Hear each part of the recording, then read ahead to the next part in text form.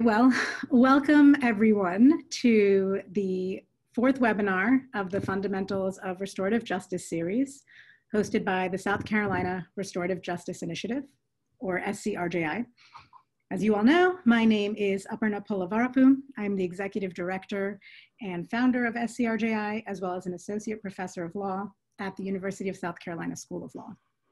So I wanna remind you of a few items most of you have heard this by now, but I'm gonna just say it again. Um, you will see that you're able to chat with panelists only. Chat is being monitored by Torres, who is ensuring that technology runs smoothly. Other attendees cannot see this chat. Panelists will not be reading the chat. So if you have questions, please, please, please post them to the Q&A and you'll see a Q&A icon at the bottom of the screen if you want the moderator, myself, to see it. That being said, South Carolina bar members who are seeking CLE credit, you must keep an eye on the chat. Um, you will be prompted every 15 minutes to submit your SC bar number. You must do this so that we can certify your continued presence in this webinar to the Commission on CLE. We plan on sending out surveys at the conclusion of the eight weeks, but are interested in any additional feedback you might offer. So if you have any immediate thoughts at the end of this webinar, we're going to post a link in the chat where you can send those. Um, and we'll also, that link will also be visible on the password protected page of the website when we post the recording. We do have two ASL interpreters. Um, so please uh, spotlight them, them if you can't see them at any point and you need their services. Uh, we also have live captioning. To access live captioning, please click on the CC icon on your Zoom screen. Okay, I'm joined today by uh, Sonya Shah, who is the director of the Ahimsa Collective, and by Mary Koss, who was the principal investigator of the Restore program. They're both also um, uh, professors, but they're here today uh, due to their roles in both of those uh, programs. So um, of course, more speaker, more information about them is included in the speaker bios on the website, so feel free to, to check out more information. Both of them are here today to discuss restorative responses to sexual harm.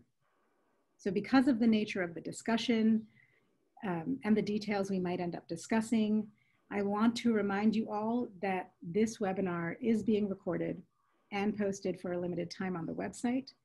If you need to, to take some time to step away, uh, I encourage you to do so, and you can return to this at a later time when you feel ready. So with that said, I'm going to turn it over to both Sonya and Mary by asking you to talk about your work um, and how you've implemented restorative responses to sexual harm. And Sonya, why don't we start with you? This is where this is the start of my 20 minutes, right? You want me, you want me to start now? Okay, great. Hey everyone, it's really great to be here. I'm excited to talk with y'all today. Um, my name is Sonya Shah.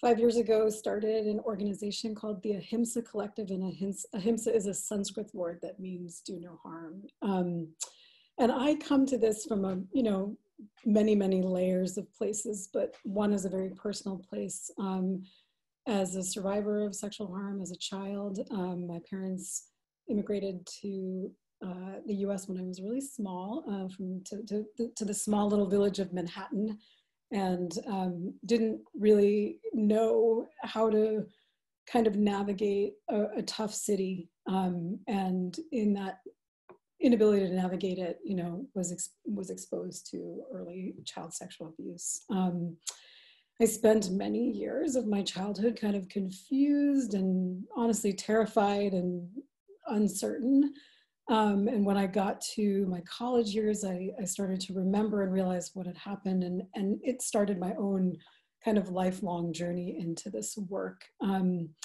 and I really found my light in the darkness and in a really dark place. And, you know, it's been, I'm 47, so, you know, 30 years of continual light, opening the light and healing and um, really doing a lot of deep sort of processing around sexual harm.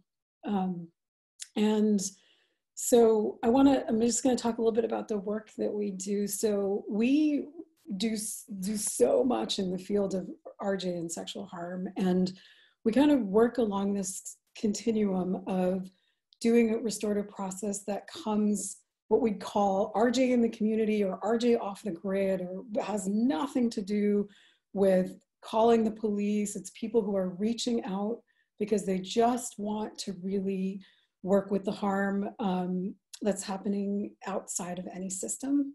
So we have, uh, in the last year especially, really developed sort of that capacity.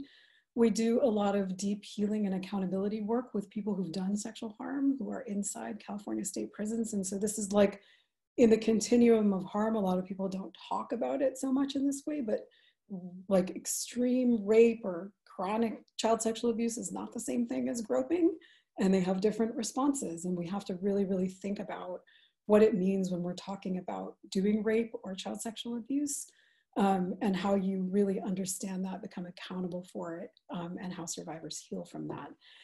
I kind of want to echo what aparna said about like this is really difficult content and like i think my whole life is a trigger warning so everything i'm going to say is going to be possibly triggering so i really want folks at any point along the way you know to just take care of themselves because we are using words like rape and child sexual abuse um, because those are the things that we're talking about and we have to actually say them out loud in order to be able to talk about them. Um, and then we do uh, uh, something called victim offender dialogues. It's a horrible word. I just call them VODs.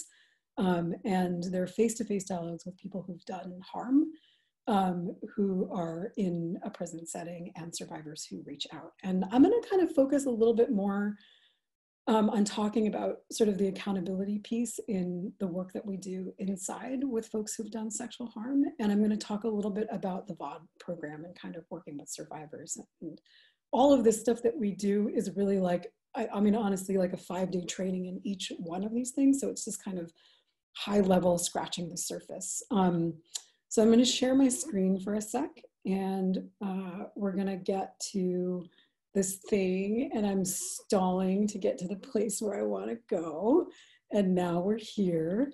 Um, and, you know, I think one of the things that I would would not underestimate um, is, wow, this is kind of just coming up funny. Um, we don't want to do it like that. We want to do it from here. Okay, cool. People can see this. Aparna, you can see it okay? Just sort of let me know. Can you not see my slides? I can't see your slides. Oh, that's so weird. Okay, well, I'm going to start this over again. Let's see if we can see them now. I'm going to start it again. Stop share. Let's let me try this again. Um, can you see like this weird thing coming up right now of just my dashboard? Yes. Okay, so now can you see the slides? Still can't see the slides.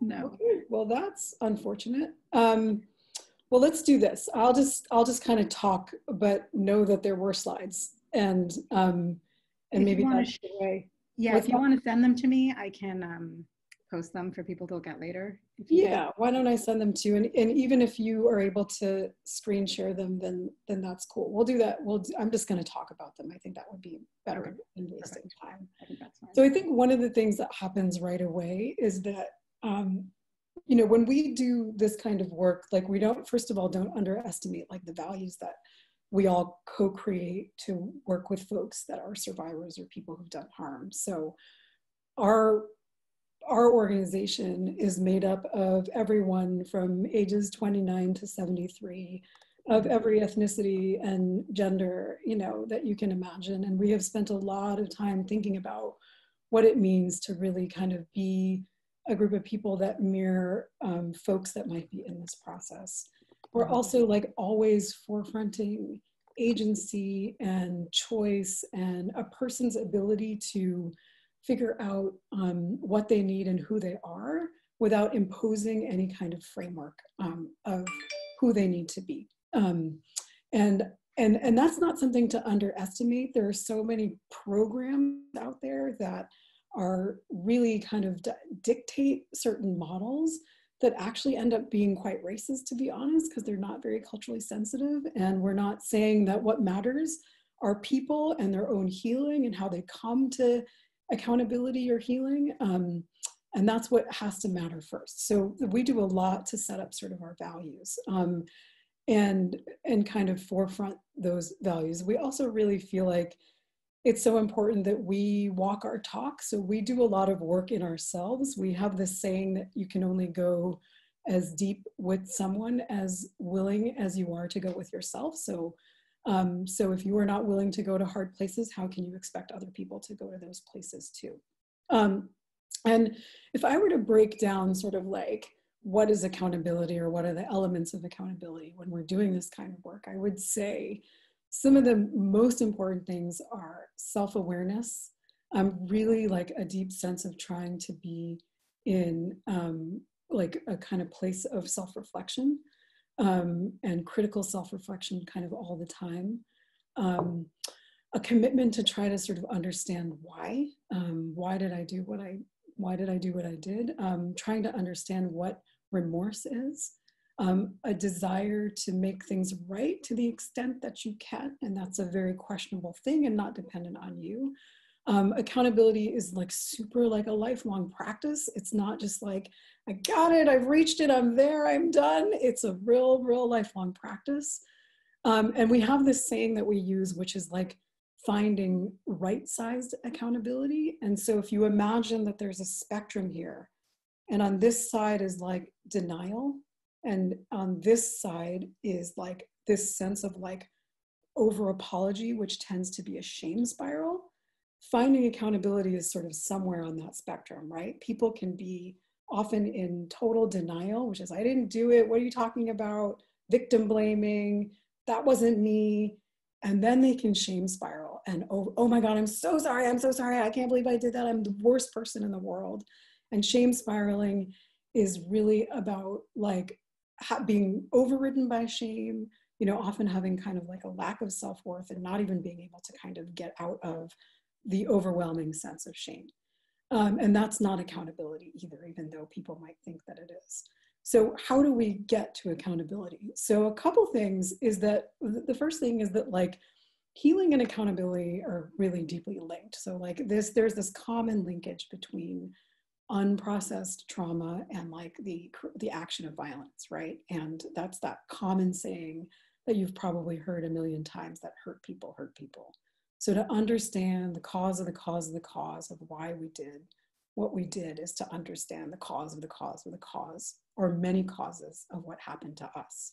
And it's not to be underestimated that those really have to go hand on hand without minimizing the actual harm that you've created and so there's a big digging into shame and guilt and the loss and grief in one's life, the role of addiction, um, unprocessed trauma, environmental trauma, structural racism, power and control, just all of there's so many things that really have to get dug into. Um, and so we do this like over a really long process with people who've done harm and sexual harm. When we're adding sexual harm, it's also digging into patriarchy and rape culture and male socialization and the normalization of like degrading women and girls. Um, and then really just understanding that none of these no cause is ever like singular. They're really complex and they're really individualized. So people come to it in themselves. Um, so a couple other things about accountability i would say is that it's really like coming to accountability is really allow ourselves a place to addressing like separately our own like traumas or the reasons why we might be like acting out in certain ways and the actual accountability itself. So separately addressing trauma and accountability.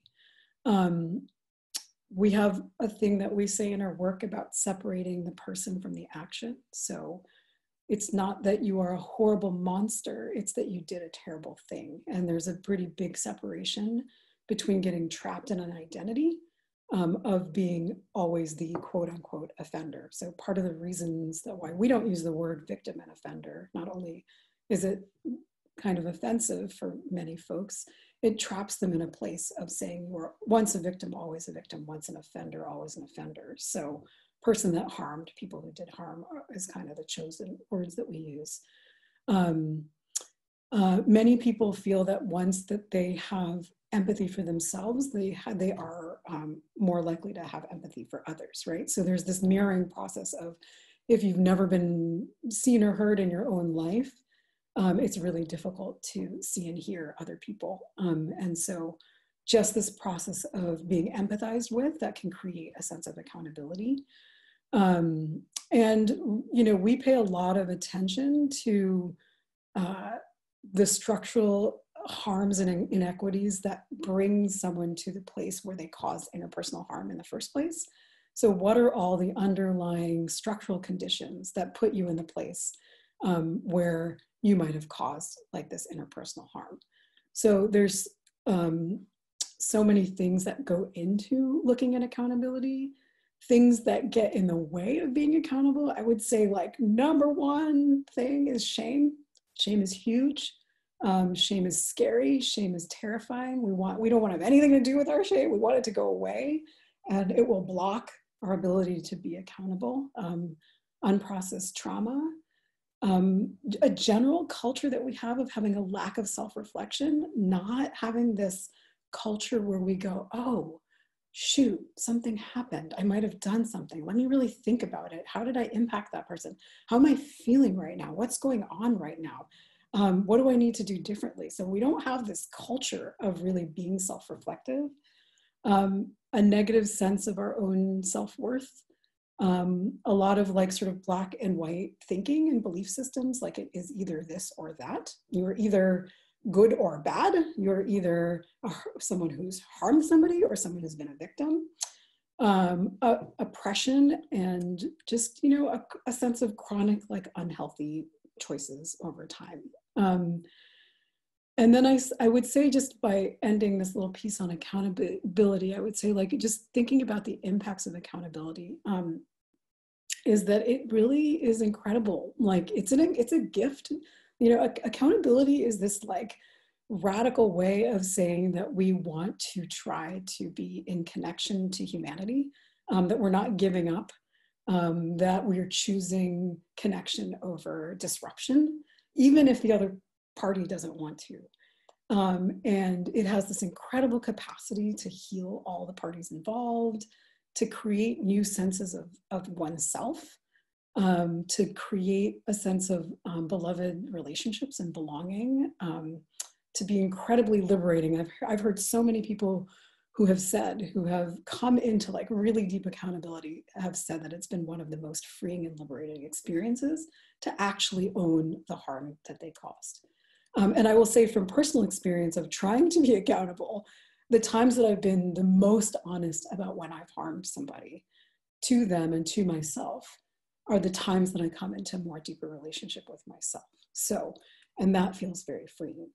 So, um, that's kind of what I wanted to say about accountability. Um, so, when we do this work inside prisons and with people outside who've done sexual harm, and we do it in the spectrum of sexual harm from child sexual abuse and rape to like, um, you know, to sexual assault, um, to to to just sort of sexual words, right? So sort of verbal abuse kind of thing. Um, we basically follow a kind of arc in our own work when we're trying to work towards accountability for someone who's done harm. And that's going with starting and always starting with building relationships and trust, um, building a sense of our values, understanding like that we're not judging to, to get rid of what it means to be punitive in ourselves and in our hearts is coming to a place that is incredibly non-judgmental even when i'm hearing the most difficult things. It's not about how i feel about it. It's about supporting the other person. I can have my feelings and express them to somebody else later. Um, and then we go through like talking about trauma and healing talking about what accountability is doing a lot of exercises. And then we go through talking about shame and working with shame. And then we go through a whole arc of looking at gender socialization and patriarchy and understanding sort of male socialization and gender socialization.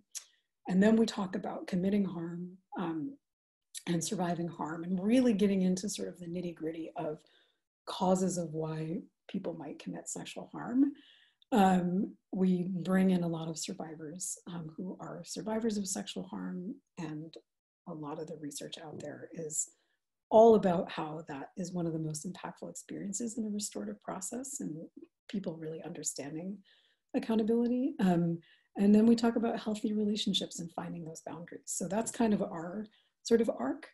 Um, Aparna, how much time do we have left? Like about six minutes, five minutes? Okay. So um, I'm just going to shift gears a little bit and move to just talking a little bit about like um, the VOD, the VODs that we do. So for the past, we've done maybe 40 or 50 VODs. These are face-to-face dialogues in the last couple years. Um, these are victims that reach out to the Office of Victim Services in the state of California for a process. People are incarcerated um, for the harm they caused. And the victim services does a quick scan of where these folks are. And um, once they're kind of just in a good place, they send that case or that dialogue to, to one of four community organizations, and we're one of them.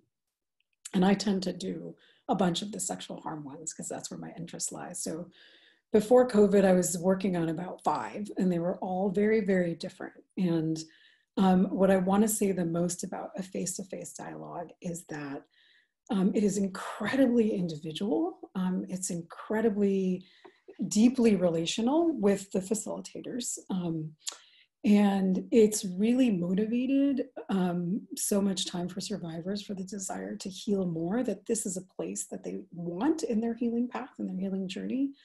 Um, they want to hear the truth from the person that harmed them. They want to hear remorse. They want to know why they did it. They want questions answered that only that person can answer. Um, they want to be reassured that the harm won't happen again. Um, and there's a desire to share the impact, basically, of how this person has impacted their lives. Um, and um, what I would say has been, I just want to kind of talk about one for the last like four minutes. Um, I worked on this one VOD for two years um, from start to finish with a woman who was a survivor of child sexual abuse chronically when she was a child from 8 to 14. And the person who did the harm um, has been incarcerated for about 10 years. Um, right away, it was really, really clear that her, her PTSD uh, in life was so big that we had to be really, really precise with her about when we were communicating and how we were going to communicate in, in order to build trust. Um, she was an immigrant she was latina i'm south asian and you know we could automatically kind of connect about language about not being from here about sort of things that were um, uh, things that were familiar and so those really built points of connection for us uh, my co-facilitator was also south asian um, and the person who did harm was also uh, a mexican immigrant so although we weren't exactly the same ethnicity, it really mattered. And there was a lot of trust because we were always interweaving things about race. Um, and it never like was a thing that we were talking about it. Um, she, what was most important about this process was sisterhood. She needed us to be like, we needed to be kind of in sisterhood with her. So we would text at random, we would talk about kids, we would talk about a lot of other things just because that made her really comfortable and it really, really built a relationship. Um, even though in our process we we offer and ask people if they want to write, you know, things down and share them. It's a way a lot of people process, you know, how they want to come to a dialogue. She hated writing. she never wanted to write anything down. Um, so it was all very oral. So we really like, you know, we met with this person over two years, probably at least like 14 times. Uh, we met with the person inside about seven times, and then they were kind of ready to have this conversation. And each time was a little key into like what needed to happen next and how we were meant to be in relationship with her and how we were meant to be with the person inside. Um, so much of our work was helping her to move from a place of being kind of reactive to a place of being proactive. So a lot of our early conversations were like, well, and when he says this, I'm going to say that. And when he says this, I'm going to say that. And there was this moment I really remember kind of halfway through the process. I was like, wow, she's still the person who's not in control. And so we we had a really big conversation about what would it mean if you get to lead the conversation, if you actually get to start it, if you get to dictate what you're going to say, and then he has to really you know, think about how he's going to um, respond to you. So that was a really big piece of learning. Um, and I'm just highlighting a few pieces of learning because again, this would be like a four day training. Um, and just a couple other things were that, um, you know, she was really pissed. Um, this was her stepfather. By, by the way, I have permission to share all of this with you. And she would love to talk to anybody who wants to learn more, basically. That's kind of the person that she is now. Uh, but she was really, really pissed and she wasn't in forgiveness. And there was never any pushing of that. And I remember one time she said to me, um, we were in the middle of a conversation. She said, Sonya, you know, you think like if I'm just sitting there, I could just like get up and like smack the shit out of him across the table? and I said, mm, yeah. I mean, I said, so like you can think that and you can even tell him that, but you can't do it. And we started laughing, right? And there was something about validating that I just want to smack the shit out of him that was like so great, right? It wasn't saying like, oh no, we don't do that in perfect, beautiful RJ land and we don't say curse words and we don't have these feelings. We do, we have all these feelings, we say all these things and we just really own it. And then, you know, we can say, well, what can we actually do in the moment? And I wanna say that when we got into that room, and I'm intentionally just in my last minute staying focused on him because I taught her, because I talked a lot about people who have done harm and I wanted to spend some time with survivors, is that when we got into that room, you know, she ended up bringing two years of his board transcripts with her and going through point by point every single thing he said at the board and asking questions and really taking control. And um, at one point, she wrote me a note. I was sitting there and she said, she wrote in the note, Oh my God, his food looks like dog shit. You know, can I give him a part of my sandwich?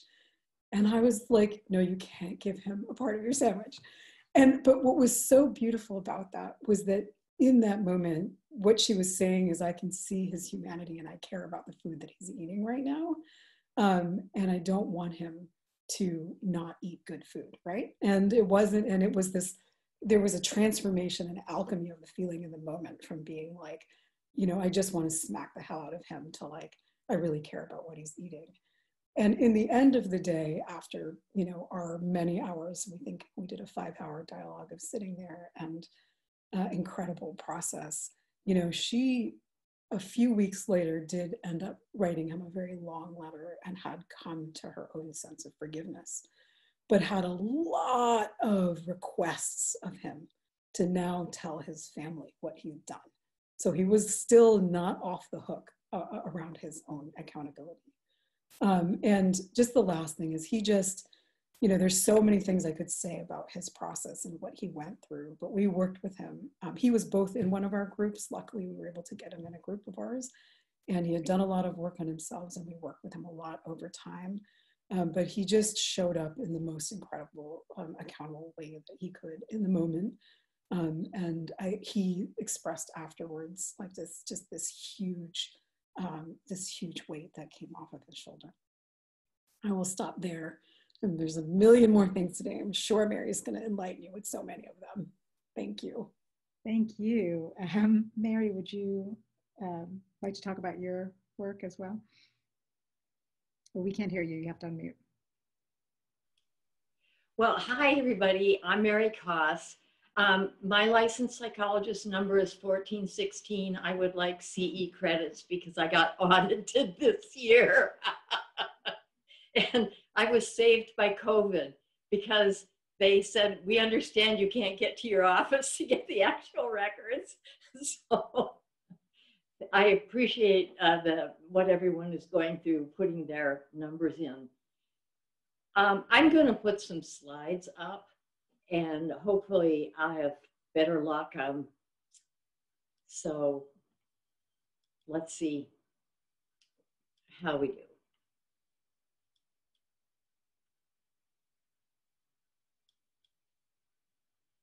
There you go. Um, you can see these now? Good. So I would like, Sonya and I have so many observations in common. Even though we work in um, different settings, our programs are in different settings, they both involve face-to-face. -face. And uh, so I think you'll find a certain uh, continuity. I would like to say right up front that when you go on the website, you'll find a set of frequently asked questions. It looks just like this set of slides, but it is called Frequently Asked Questions. It's co-authored by Quince Hopkins, who is a law professor at the University of Maryland. Because for all the attorneys in the, in the audience, I do want you to realize that um, you, I, that I know you have many questions, that this work raises a huge number of issues that um, have to be solved legally. I did not uh, do that myself um, through unpracticed of the law. I did have a partner working with me.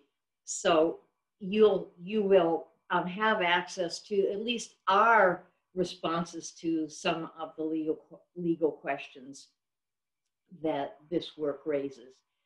Now what I'm gonna, uh, before I started this program, I was finishing a two-year project where we were following rape victims from the time of the rape through two years of their recovery.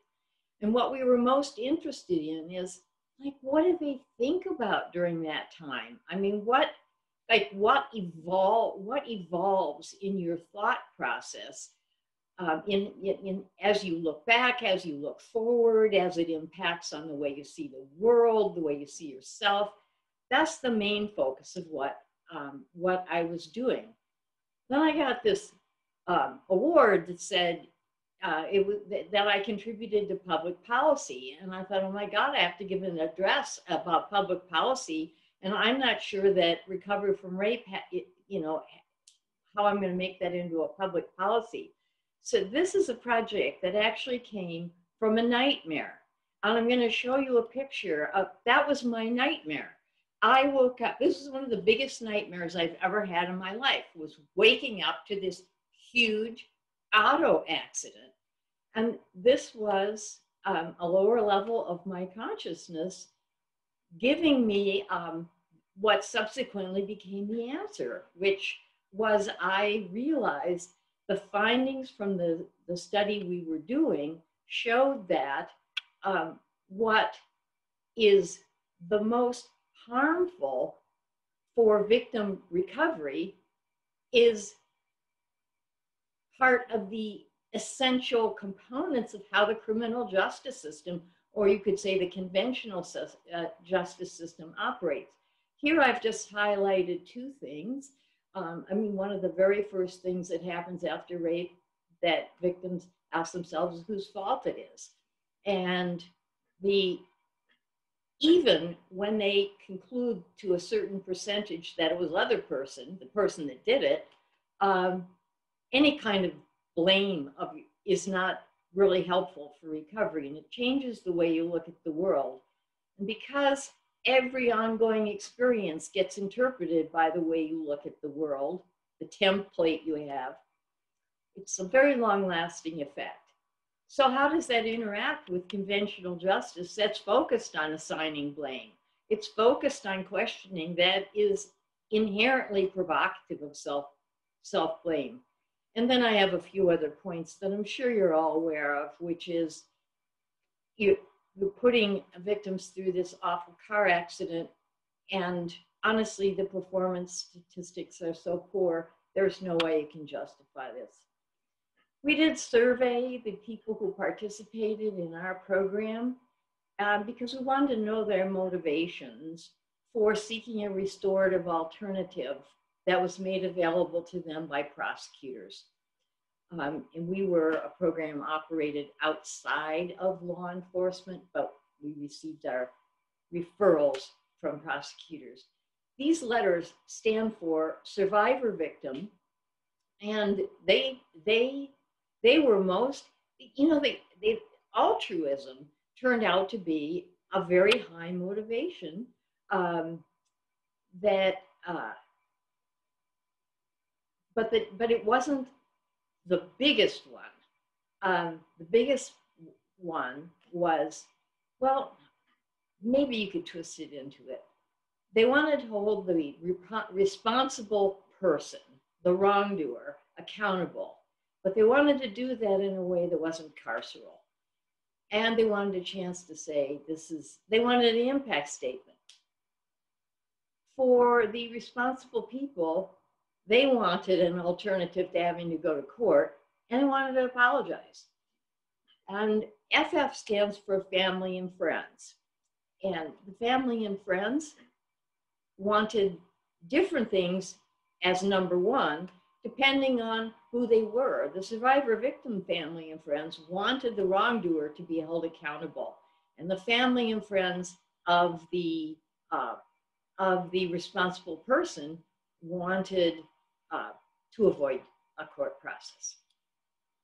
Now, um, I hope you can see this. My gallery is uh, obscuring this.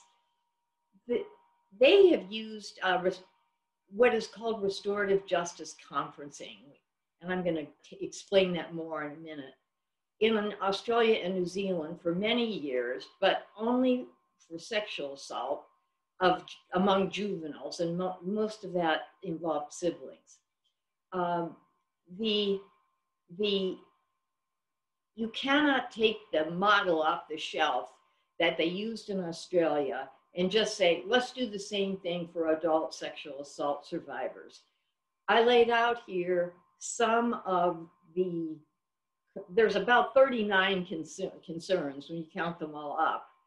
Uh, but I laid out the most important ones that we had to think about as we design this program that we are going to implement and we're also going to evaluate what do we have to do to make sure that this program that we are account we are accountable to the advocates in the community who fear we're doing harm. And then the other column uh, has to do with the responsible person. And the responsible person, we also have to be accountable to the advocacy community who is concerned we let people off too easy but we also had legal, legal rights, including constitutional rights. And, and that's, that's a pretty important thing to, uh, to solve. Our Restore program, as I said, received referrals from a prosecutor's office. The, the uh, referral and consent stage involved uh, finding people. We went to victims first because no one should be coerced into having to participate in this type of uh, program. So victims had to say if it was okay with them, we tracked down the wrongdoer. And if they both consented, we had a stack of forms because we had to do, uh, I don't even want to tell you, look at the frequently asked questions to find out what we had to do to satisfy human subjects and legal um, issues. But once we got people referred and consented, then we entered a preparation period. The Preparation period was a variable length of time depending on what you know what what was needed. Some cases that there was not a face-to-face -face meeting desired. And in those cases preparation was shorter.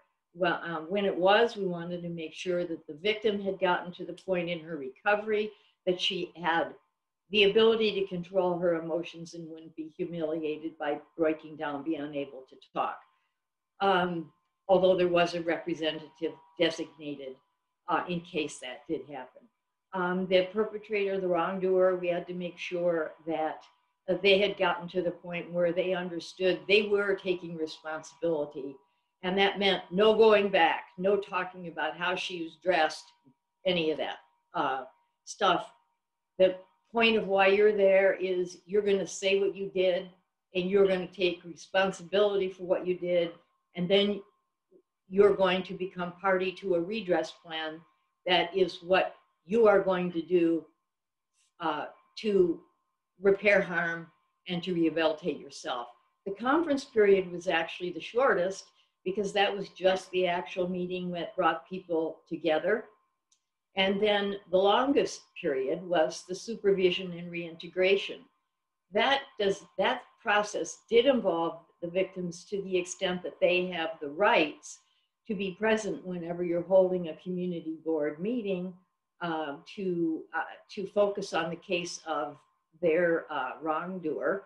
However, um, we, we found um, that our victims, when the conference was over, they were finished. And although they were notified, they did not want to have any further contact. Um, the, so the supervision and reintegration period really was 12 months spent um, ensuring that the responsible person carried out their redress plan.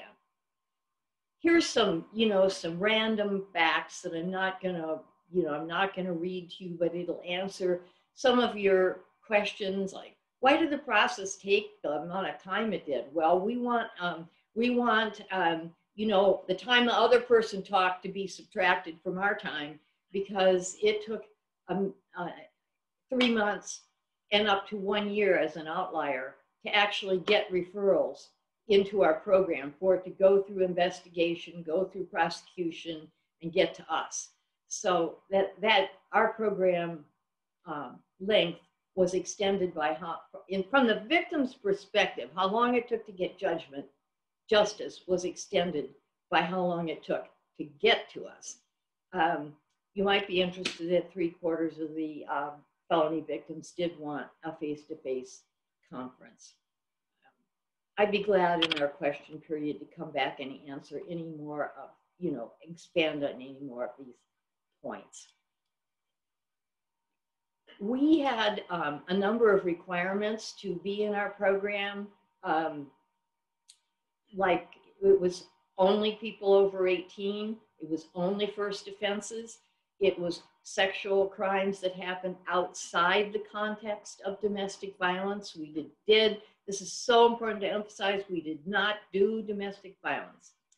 Um, I'm not saying you shouldn't do domestic violence, but we wanted to start with less complex and intermeshed um, programs. So that the rest of the things listed here are what the responsible person had to do during that year that uh, we we were we were um, checking in and making sure we were only keeping a person in the community who was safe. That if they were not safe, they would go back. Um, we did uh, a number of uh, qu quantitative assessments of people who took part in the program. And so I just summarized a few uh, findings here that uh, that there were a number of dimensions on which the survivor victims were 100% uh, satisfied. And that's pretty amazing. I'm sure that anyone in the justice process would say that's pretty amazing for um, something that had to do with a uh, had to do with sex crimes and was talking about victims. Did uh, was justice done? I mean, the interesting thing about what whether justice was done was that the largest group that disagreed were the group of people when the victim did not want to appear herself. We used a victim representative, and those were often advocates who had been victimized themselves, and they were actually the least satisfied. But even for them, we felt this was an accomplishment because they were on, only only 30% of them felt justice was not done. So we, we felt we made some converts. Um, you would expect responsible people to a certain extent not to be satisfied with the justice uh, process, but um, it's, you know, it's kind of interesting. The wrongdoers themselves were, uh, eight out of 10 were satisfied, but it was the, fa their family and friends uh, were the largest single, uh, highest rate of dissatisfaction. And for us coming after their loved one, I guess. Uh, this uh, is the is a just a pie chart of the outcomes of the program. So we, we had 80% of our participants complete and uh, for some reason this little thing, I don't know whether I have to hit it again or, you know, what now. I, I don't know. There's supposed to be numbers there, but there's got to be a technological flaw or it's not a real Zoom presentation. Anyway, 80% of the people completed all 12 months of the program. And then you can see the other slices of the pie for those who terminate. If you didn't complete, what did you do? Did you withdraw, terminate? Were you terminated by us, by our community board, because we invested in the community representatives the decision about whether this person needed go, needed to uh, go back to prosecutors was no longer safe in the community, and then who reoffended. Um, I'm, this is the last slide that I'm going to show, and it, it, I'm speaking particularly to uh, advocates here because there's really serious safety concerns about bringing people face to face, uh, not not only physical safety but also psychological safety, uh, and, and this we, we actually use a standardized psychological test to measure post-traumatic stress disorder and use public norms that, that are for rape crisis centers. So I want you to see two things from this chart. Um, you know, one thing is that justice is not a silver bullet um, psychologically, and nor, nor should it be because justice is for justice. It's not for giving psychotherapy. Um, but I think if you look at this, you can see that it you can't build a strong case. You can say it didn't do better than therapy, but it didn't do harmful things. It didn't do worse than therapy.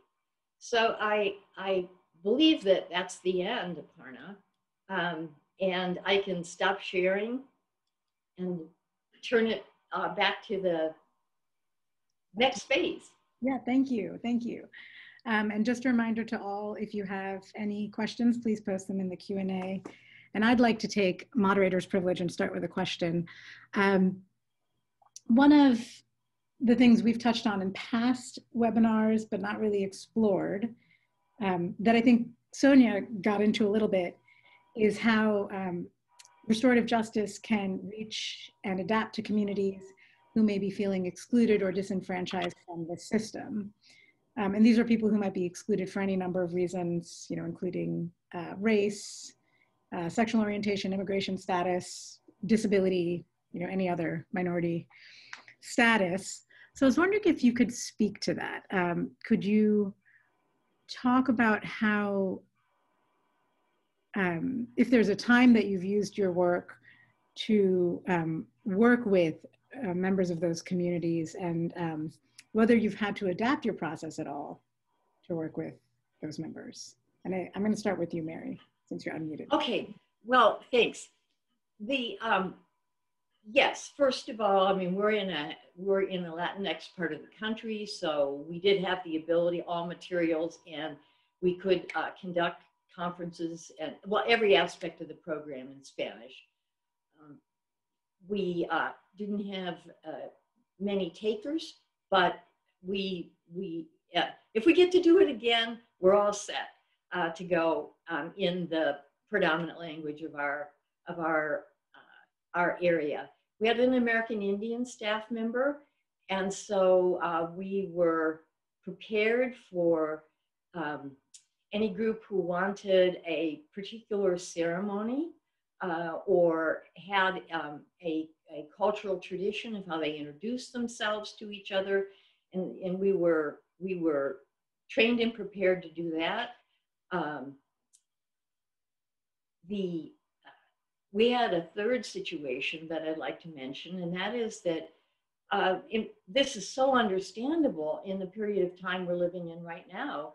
We had a, a um, black responsible person who had his the survivor victim was white and he had a really strong feeling that he did not want to have his side of the table be African Americans and her side of the table be uh, Anglo Americans. So uh, he asked for an all black conference. And we were able to, when we had a black, our facilitators were all professionally trained. We had, had one of our black facilitators. And, and then uh, since the victim was white, we asked her permission to have a black victim substitute represent her and she agreed and her father agreed so we recruited um, someone from the urban, urban league to represent her father and bottom line is that there were no white people at the table and this was a fascinating conference because it uh, kind of took race off the table in in in some ways um, I, I had only one more at the risk of, you know, dominating. Um, and that is that we did have a case that involved both the survivor victim and the responsible person were profoundly deaf and used American Sign Language. So we had um, multiple interpreters at this uh, conference. Now, uh, one thing that was really interesting to the interpreters was that normally they stand so that the uh, uh, person who is communicating with them through sign language can see their gestures and their faces. But it means then that they're not making direct eye contact with the person to whom they want to be directing their impact statement or their statement of responsibility. So um, our interpreters figured out that they would stand behind, for example, when the responsible person was giving his impacts, his statement of responsibility, his interpreter stood behind the victim and she made her gestures higher, high enough in the air that he had to look in the direction of her face to read the signs. So we, um, afterwards, we, we were really, um, we were really satisfied that we came up with a process that incorporated a different a language of communication, but also maintained that face-to-face aspect of um, looking at each other while speaking. Um, do you want me to also respond to that? Yeah. Um, yeah. So I feel like, you know, we, for us, like integrating difference and oppression and, and issues of structural inequity and all of it are, are, are interwoven in every single way we are, what we do, how we be, and that they're not separated out from a kind of process or a program. I don't think none of us think about what we do as a program. We are with people, um, we are from those people, um, and we're in community with those people. And I think it's a very, very different way of approaching things to be from folks and with folks than to be like, here's the thing I'm offering to folks. Um, here's the thing I'm doing to folks.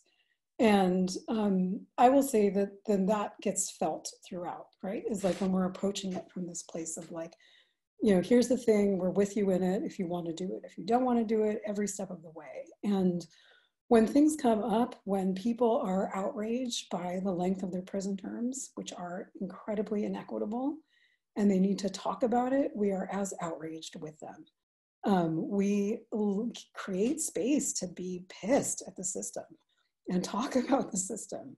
And we create space to talk about accountability you know and we live in this 200 and 300 percent reality where all of these things can be true at the same time you know where we can have incredible incredible inequity and we can also have interpersonally done harm to others. So i think those are things that are really huge for us. Um, you know, language really matters to us, like not using clinical language, um, not pathologizing folks, not um, using terms that come from outside.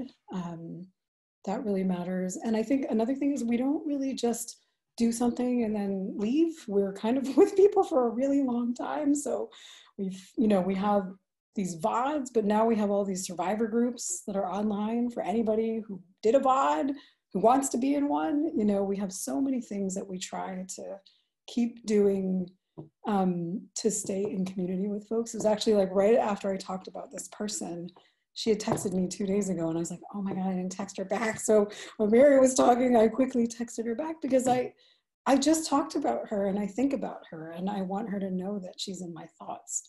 Um, and so I think that those are all ways that um, being like like really really deeply centered around um, we're a country of difference. Um, we are a country of difference. And if we're not hyper attuned to that in our microcosm then i think it's really difficult for us to be attuned to that as, as we grow our circle and do our work.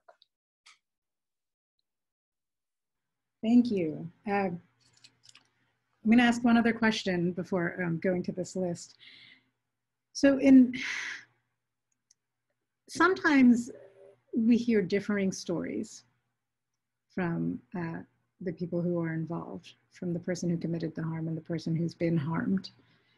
Uh, can you talk about how uh, you've addressed that when that's come up? Do you want me to start again? Go ahead, Mary. Go for it. Well, it's a prerequisite, I think, for all forms of restorative justice that the wrongdoer accept responsibility. But I let me let me just tell you, we had a number of uh, people come in uh, for wrongdoing that involved an incapacitated victim, and they were absolutely. I mean, yeah, they acknowledge it happened, and they uh, but they were totally unaware that this was some kind of crime. In fact, we're not really willing to believe it was some kind of crime until we opened the Arizona statutes for them and you know said read read these two lines right here, and and, so that was when people came to the realization. We had other people whose crimes were captured on videotape; those are easier. Um, the you you were asking about people who don't take responsibility. 27% of the rape uh, felony accusations, the people would not take any level of responsibility. They wouldn't even accept, we didn't require them to say, I'm a rapist or I raped somebody, but we did require that they say the incident happened and I did, uh, you know, penetrate that woman. Um, kind of an anti-Clinton statement. And um, so those people never even got in the program. Why the preparation period was so long is that conferences are always forward looking. We had a set of rules that if they were broken, the conference was terminated and the case was returned to prosecutors. And uh, foremost among those rules was that there be no abuse and there there's no there's no going back and saying and talking about who drank what, who wore what. I'm talking about what the wrongdoer um, could could do, and that's why we spent time working on their statement with them, so that they would focus on this is what I did wrong. These were my specific acts. We we wanted them to have not didn't think about it as shame, but some level of shame's inherent in it of having to say in front of a group of people, this is what I did. This is what I'm taking responsibility for. Um, so I hope that's an answer to what you were getting getting at is that we didn't have anybody come to the conference who wasn't at the point of accepting responsibility and at the point of being willing to talk about to, to hear how it impacted someone else and then talk about how to repair the harm moving forward. And I would say, I'll piggyback a little bit on what Mary said, is that imagine, this is actually such a great question. Um, so I had, as for me, I had like these four or five dialogues I was working with, and they, they literally fell along this spectrum. Um, and I think it's really helpful to think about it like that. Now, of course, like there's on this one side that it's like, the person who did harm is like, yes, I did all these things in exactly the way this person I harmed remembered it, which is very rare that that happens, right? Um, and on this end, we have like, I didn't do anything, I didn't do any of those things. Now, in some of the, the dialogues I've been working on, there's this really nuanced place that's been really different. Um, it, it's really important to make okay that that person who's done harm can tell you, the facilitator, anything that they're feeling, right? So if he or she wants to say to me, that's not what I remember, I don't think I did that, I remember it differently, or I didn't think it was that bad, they, it's, it builds trust um, for them to be able to say to me, this is how I'm feeling. Um, and, but the, there's a difference when we're talking about now when you're sitting face to face with the person that you harmed. So I had a situation where somebody there was a real difference between the another sort of stepfather uncle situation child sexual abuse and what they remembered about some actions were really really different and we had a lot of conversations about but he still really wanted to go through with the dialogue felt a lot of remorse and wanted to just show up and be accountable. But there were these sticking points to him about the, some of the actual actions. And we talked a lot about how much does that really need to be something that you have to clarify or not, right? Like, like do you, does it have to be something that you have to say I'm right and you're wrong? And if that's the case, that's going to be difficult. It's going to be hard to go go through with this, right? Because we really want to show up with her. And so it was more about a process of thinking about letting go of what he thought his memories were, what she thought her memories were, and how we're going to work with a moment that might come where it might not feel that good, where you remember it differently. And then what are you going to do in that moment when you're starting to feel that way? So that was something that we were working through. Um, there was another situation where the person who had done harm was so adamant that he remembered it a certain way. And that was what happened. So that wasn't going to go through with the dialogue, right? Because he wasn't really centered on like really understanding kind of what the person wanted to communicate who was the survivor. Um, and then there was another situation where, in the one that I talked about, where the person who did harm really wanted us to know how much he had really still cared for this person, this young child, and how he had done loving things. And, and we had to talk a lot about us hearing that and that being okay. But, you know, did it really matter given all of the horrible things that he did? And really accepting that while he might have felt love what he did was a lot of abuse and that those are really complicated feelings and that you have to really grapple with those feelings of and that we were hearing what he was saying. And as a parent you know who uh, he was speaking from the perspective of a parent as a parent i could try to identify with him right? Of like yeah like i think i'm doing these things but my kid thinks that you know like okay i hear you you know you did some things that were like being a parent and then you did some really fucked up shit you know what i mean? That was not okay. And sorry for my cursing but that's kind of how i show up sometimes right? But i mean that's kind of how we even talk in the dialogue when we're comfortable. Like that was not okay dude. Like you know that you know? Like that was horrible. Like you can't how do you even talk about the love? And i could talk to him like that like you know you realize what you're saying to me. You want her to you want her to see that you love she loved you when you did all these things to her? Come on now you know? Let's let's talk about this. So that was really important to kind of be able to get across. I apologize if the cursing has offended anybody.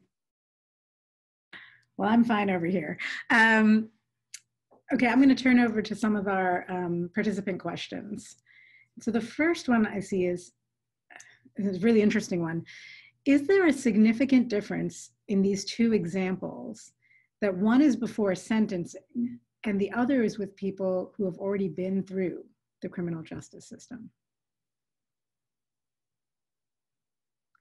Well, I could probably um, start because we did both felonies and misdemeanors, and so my, the the answer is both. Um, the felonies were pre-charged diversions, and the misdemeanors were they had um, entered a guilty plea, but their, uh, if they successfully completed the program, their lawyers, please excuse me, I get this language mixed up. The, the, the um, it, it was, it's a V word, you know, anyway, not vindicated, but uh, all right, I'm not going to struggle with it any longer they the the um, they left with no um, their case was dismissed with with prejudice with prejudice. Is that how i say it aparna? That that was the end. They and their their so they without prejudice. Yeah that was the end. Okay. and then they carried no record of conviction for for that. So if, i guess you would call that um, post plea diversion, and the other one was a pre charge diversion. So, yeah, I would add, like, maybe from a maybe narrative or whatever substance perspective, I think there's a huge difference about doing like restorative process along this continuum uh, or post sentencing, post conviction. We're talking about 10, 15, 20 years out, right? Like people have a lot of time to think about kind of like what they did and a lot of the because there's no ramifications for sentencing a lot of it is just like folks are on their healing journey they're trying to like figure out what's next in like a liberation goal um, we're doing a lot of stuff that is like now RJN community off the grid. And it's this, we're, we're kind of creating a place where anybody can reach out to us um, and talk like anyone, like a survivor, a person who's done harm, a witness, bystander, an organization. And we will take their call or their email and we will try to sort of help them figure out what they need.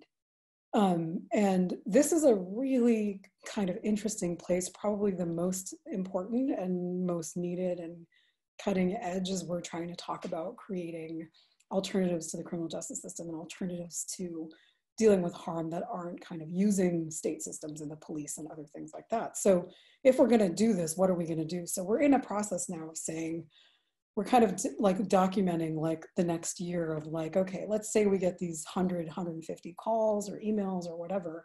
Where are they going? What's happening in them? And I'll tell you after the first three or four months, what we just had a, a big like retreat about it is some of the things that we're seeing is um, one is that people oftentimes just don't even know what restorative justice is and need a lot of clarity about like what the process is. Two there's a lot of folks um, that just really like the, the first call is so big for clarifying sort of like what is it that i actually want? Um, some people need a lot just really want more therapy. Um, and it's like then about connecting them to like sort of healing workers and therapists. Um, some folks need like legal counsel and it's connecting them there. Um, and then some folks are, are like ready to move into some, some sort of dialogue type situation. And then it's about kind of doing the work to reach out to different parties. Um, a couple other things that we're noticing is that there are people that are reaching out that aren't even really involved. And are, are thinking about, well, this is a process I want done over there and to you. And, you know, and so, so much of it is about kind of getting anybody with power out of the way and getting directly in touch with the people involved. Um, there's a lot of what some of the facilitators are, have been saying is that there's a lot of time that's needed because th this is like we're talking often about like harm that's just happened or active harm or like you know, I'm just ready to start processing, there's more time that's needed for people to process. And there's more kind of time needed for like the wishy-washiness of like, oh, my life got busy, but now I'm ready to get back to it. So it has a kind of a more chaotic element to it. And it's not as structured in those kinds of ways. Um, and, and yeah, and then there's just really sort of, I think, you know, really helping people locate the difference between being like a victim or bystander um, and what their role is and versus being a survivor or being a person who did harm and kind of how we can how we work with people differently depending on those situations. Thank you. Um, okay the, the next question is uh, specific to mary. When getting the referrals from the prosecutor's office was that done through a contract with them? Um, what was the agreement between the prosecutor and the responsible party as far as further prosecution in the future? I think you kind of answered that last one where you said if they successfully completed, they would, um, their record was expunged, right? Yeah, well, the, these are these are the kind of things that are addressed in the frequently um, frequently asked questions uh, because uh, they did not felonies, let's talk about felonies. So they didn't mm-hmm. have to enter a plea so that they could go back. If they yeah. failed, they could go back and still be charged and have the um, uh, normal process, the conventional process. I do have to say that of the three people who failed our program, um, all were sent back to prosecutors and all were all were handled in the typical way of nothing happened. Uh, nothing further ha happened. Okay. What, what, else was part of that question? It had how several um, parts. How did you have a contract with the prosecutor's oh, office? Oh, okay. Well, this project was grant funded, and so we had a sub award. It wasn't a lot of money because state workers can't be like paid for doing their job, but you also have to recognize that an office incurs expenses Mhm. um, when they have to deploy people in different ways to participate in research. So we had a small sub subcontract with them, but it was uh, they actually hardly billed us anything. Um, they were at the time enthusiastic about doing this program, and so considered it. The prosecutors considered it part of their normal duties to figure out which one of these cases might go to a restorative justice approach uh, as opposed to the other choices they have plea agreements, nothing, trials. Um, and I'd like to ask Sonya a related question um, because you talked about doing VODs. How did you how did you convince um, authorities to allow you to do that? To actually do the VODs. Yeah. Um, well, I, I think we have a really, really strong statewide effort that's been going on, like pretty, pretty well in the last like seven years, but kind of started un- informally maybe 15 years ago. Um, we work closely with the Office of Victim Services, and they have worked closely with um, the the I mean the biggest barrier are the prisons, you know, in terms of like them allowing us to do them. Mhm. Um, but we, they've sort of, it's become something that um, the state of California prisons kind of like accepts and realizes is important. And I haven't had trouble getting into any of the places that I've been needing to get into, but it took a little while to get there. Um, and a lot of when I talked to the victim services person who did most of the work, she's like, you know, I just had to explain and really like build relationship with the folks in prison to like explain why we were doing this, what we were doing. Um, there are things that come up that are particularly around sexual harm that are really difficult. Um, they, you know, uh, people who work, you know, who know more about sort of prison culture that is that people who've done sexual harm are kind of like the lowest end of the totem pole, and there's a lot of fear of being found out. And so um, there's a lot of fear when people walk through that door um, about kind of um, sharing and disclosing and who's going to find out and who's going to know even within the prison. So that's been a big thing we've had to really work hard on.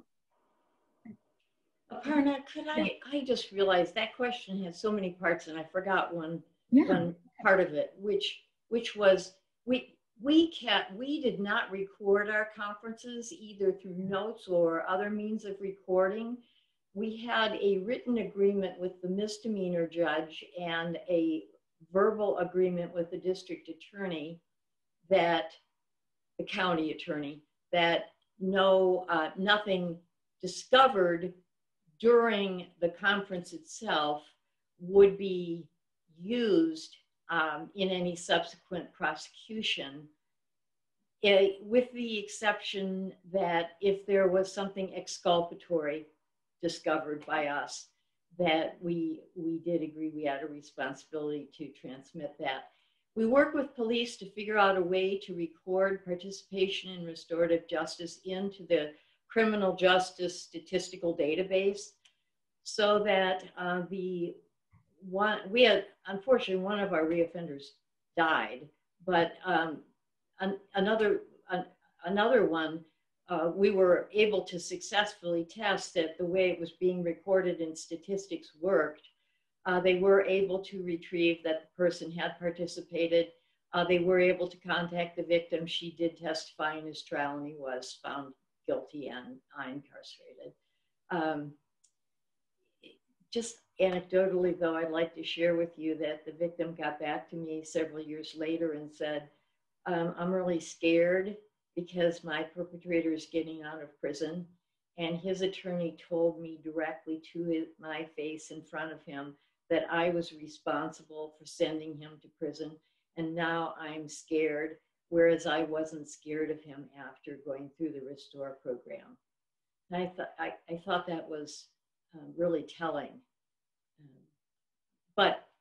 The main point is to respond to the questioner that um, about how, how information was used or not used and how it was reported or not reported. And just to clarify, you felt that that revealed something about the way, the types of things that might come out of an adversarial system versus the Restore program or? Well, we did not, we didn't want our participants to all get subpoenaed to testify in trials and to be mm-hmm. required to talk about what happened in a process that where everyone signed a confidentiality agreement. Right. So that's why it was done. But then the other side of the coin is you don't you also don't want people who to become second, third, and fourth time offenders and to be continually given the option of participating in a restorative uh, process. So that was why it was important to also figure out a way that was not going to stigmatize them as sex offenders mm-hmm. um, when record search, background searches were done. But on the other hand, if they did reoffend, and they were told in their consent form, if you reoffend, you you give up your confidentiality and you your participation will be um, recoverable by the by the police. Mm-hmm. Okay. It just, just it was community safety why we thought that was a, important to not deprive law enforcement. I mean, you know, law enforcement overbelieves in serial rape. Um, and so you can't tell them we're going to take somebody off your docket and then you won't be able to figure out when they if they do it a second time uh, or what if they'd done it three more times before they got caught um, so that that was that was the issue those were the issues we were having to balance how not to let out information we didn't want to harm our participants and how to uh, satisfy the police that we were protecting the public from anyone who might who was a repeat offender. I see. Okay. Yeah. So this was um, an important step to take to make this happen. Yes. Yeah, I see. I see what you're saying. Okay. Um, there was a question that I think Sonya wrote a written answer to, but I want to ask it for everybody um, about structural harm. Right? So when trying to address structural harm, especially poverty and economic inequality, is there a plan, e.g. reentry, that includes community partners who can assist with housing, jobs, etc.? Yeah, I mean, so I think one of the things about all this work, all of our work, all of our work is that we're never doing enough. Um, and that like it feels like we have to be responsible to making those plans. So we we don't have like this formal system of like we're with someone forever and we help them with every job or every house or everything that they need.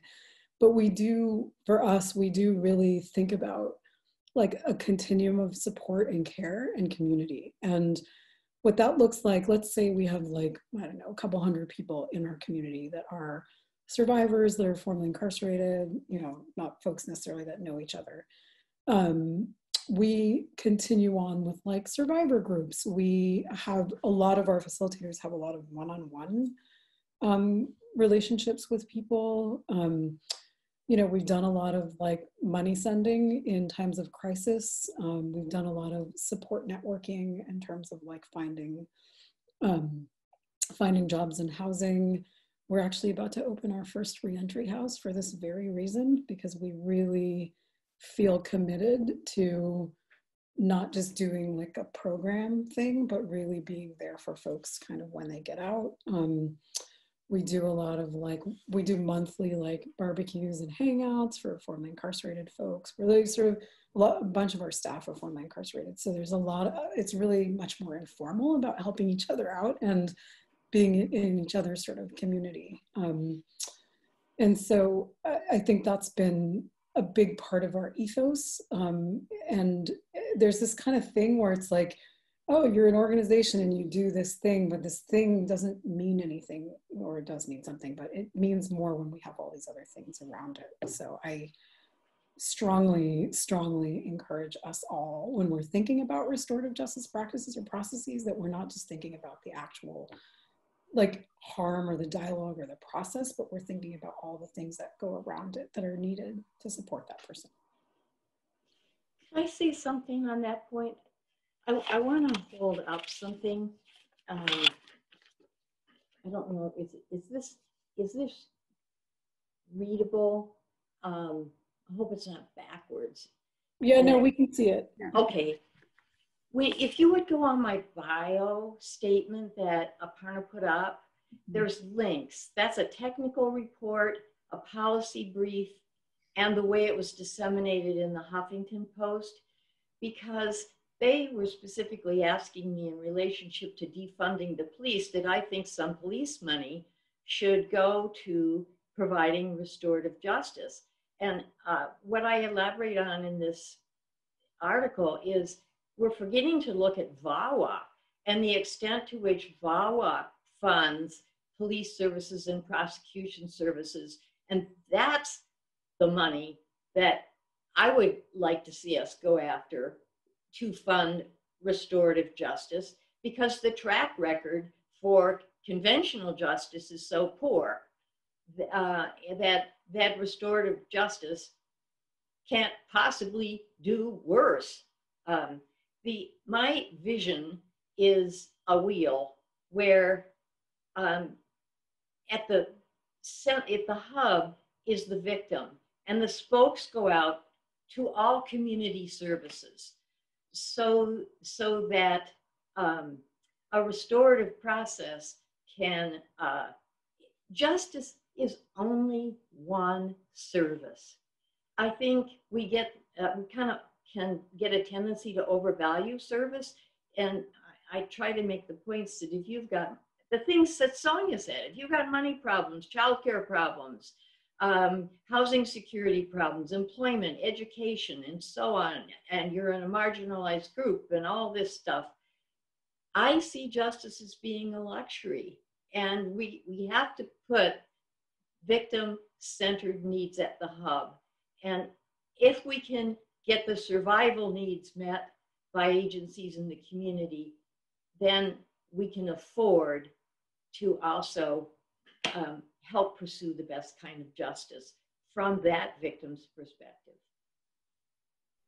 Thank you. Um, I want to, you both talked about prep, and I really appreciate that in both of your conversations. You talked, you also emphasized the amount of time that goes into prep. Um, and there's a, a question here that's a little bit more specific about that. What kind of team did you utilize in the prep for both parties? Do you have the same person doing it or do you use different groups of people, etc.? Yeah, I can start with that. So in all of our processes, whether it's like RJ off the grid or VODs, uh, we use the same team for everything. Um, it seems really, really important um, that everything's being held. And we usually have we, we usually have two facilitators. We like 95% of the time I've had two facilitators.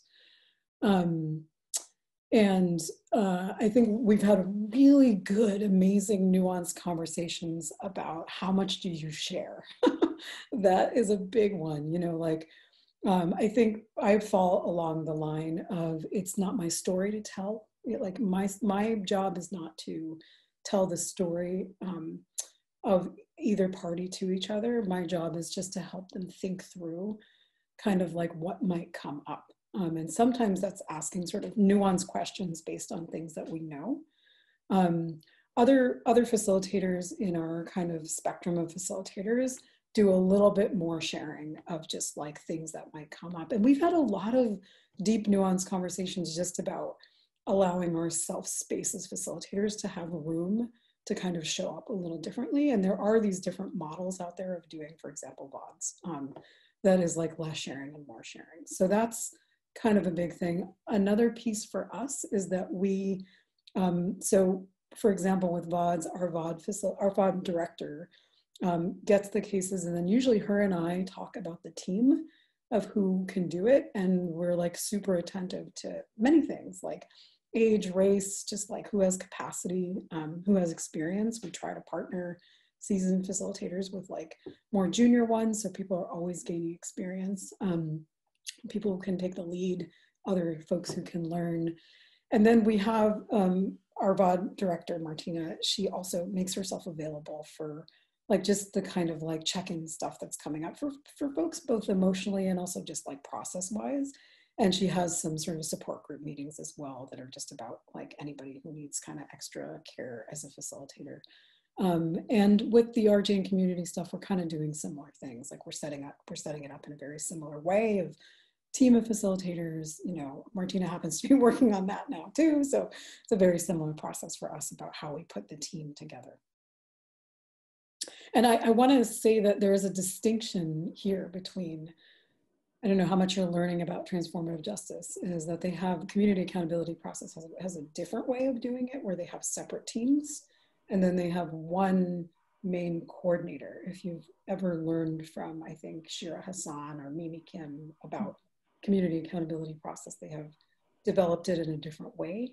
Um, and I think it's just how different communities have found ways to do things. I have found that to be way too many people who don't have the time.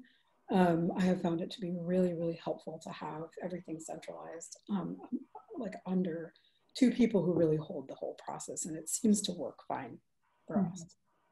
Yeah, Mimi will be um, speaking with us in a couple of weeks. So. Yeah, perfect. So you can ask her all about that. Well, in, in our situation, similar. Um, we had uh, professional social workers who did the, who worked with both the wrongdoer and the survivor victim, but uh, we had different days of the week when we worked with each and we had separate entrances to our facility so that there were no chances of um, intermingling in parking lot or in, in the in the office. The facilitators for the conference were um, an assortment of professionals, uh, probation officers, uh, correction officers, um, uh, therapists, uh, teachers, it, a range of people with human service experience. They were trained in a two-day training and then they worked as contract workers, so they were paid, I think, $50 to um, facilitate a conference. Our community, community accountability and and uh, reintegration board was all community volunteers. I just I want to add one thing because I think it's an important thing is that for us, like we really feel like this like restorative process belongs in the hand of community. Um, and like we have some therapists that are volunteers, we have some so but social workers who are volunteers, but we're really much more kind of that like feeling like anybody is as long as you're sort of really serious about kind of doing some work, getting trained in, you know, and really thinking through the values and the process and being with it, that it's really for anyone. Um, and and that feels important because I think it like sometimes professional degrees have um, have taken out the most skilled facilitators who are members of the community, who are elders in the community, who have actually already clout in the community, um, who can speak something that others can't. And so we really work with folks, like when we do a training, everybody, anybody shows up, right? From a community person to a therapist. Um, and we just work with a process that's really about like trying to understand kind of the deeper healing and accountability work that needs to be done. Sonya, at, at, at the foundation, I completely agree with you. Mm-hmm. Our program, unfortunately, had to be supervised by uh, Human Subjects Institutional Review Board, and they considered our methods to be experimental. So, for that reason, that that is the reason that we we focused on filling our uh, most critical roles. It's uh, with uh, people that had a, a, a, higher level of experience in human services. But uh, if I, but I don't, I, I agree with you about how a program would evolve um, once they got out from under you know some yeah no, that makes a lot of sense yeah yeah that you had to because the community the community board um, that was volunteer did a great job.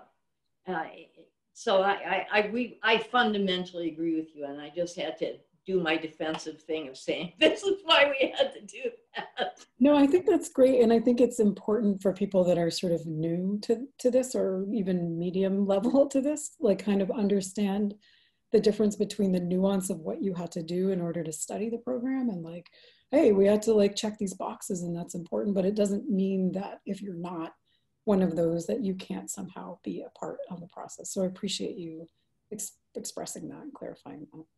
Yeah. Well, um, we are running up against the end of time, so I just want to offer um, both of you, Sonya and Mary, if an opportunity to share any closing thoughts if you have any. Well, I mean, I have one particular closing thought, and, and that is that I'm working in Arizona with the state coalition about uh, trying to have advocates and service providers reclaim justice. And we're working to um, towards the concept of, of uh, wellness uh, as opposed to um, the more traditional view of rape crisis centers as being places you go for treatment and for group therapy. Um, so, and we're conceptualizing justice as part of the recovery process of parting, part of um, the array of other services. So I think that that's, I gave a presentation about a program that was operated in conjunction with the criminal justice system. And I think that that's a very viable approach. But then we could only take people who, victims who chose to use the criminal justice system if I were to do it over again, I would like to see victims have a choice that they could that they had a justice option that did not involve the criminal justice system. Obviously, it would have to be all about, you know, um, wrongdoers would have to participate uh, without any benefits like like not getting on the sex offender registry, for example. But um, but I and I think Sonya talked about adult survivors of abuse. There's so many more groups we could serve whose cases um, are just not uh, they're not going to make any progress in the criminal justice system or it's not what people want yeah so that, that would be my closing thought is to keep on expanding victim options so that they have choice to me, choice is how you empower people. Um, thanks, Mary. And I, yeah, no, I thanks for listening. I think I have a lot to add. Um, I, you know, we put sort of like our trainings on pause in COVID just because I think all of us have a bit of an aversion to like Zoom trainings. Um, but we we usually do like 12 to 15 a year, and when we're post COVID and back up and running. We we have been doing one every year in Columbia around uh, in New York around RJ and sexual harm. We're going to be doing more. We're doing more VOD trainings. We actually think we might have a VOD training coming up in Chicago soon. But we we post it all on our website. Just if you want to just subscribe, then we will send things out, and we'd love to see you in person one day um, or on another Zoom call. So, you know, we're happy to just still be around. And I put my well, I think some folks reached out. Um, my email address is sonya at ahimsacollective.net, and you can feel free to reach out if you need, if you wanted. We're also a little bit like kind of copy left about everything we have, so meaning that we're happy to share any documents or curriculum, whatever. We don't believe in owning those things, so please just reach out and I will share those with you. Thank you both so much. Um, it's always a pleasure to talk with both of you, and we I think we all learned so much. Um, and it's tremendous that you've taken time out of your schedule for us. I know how busy everyone is, especially now. I'd also like to say thank you to the interpreters, to our captioner, to Torres, who's been helping with the tech. This is a small shop, and none of this would be possible without all of the support.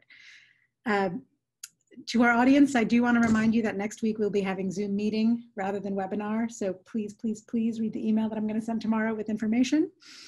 And um, again, thank you all, and we'll see you next week. Thank you so much. Thank care.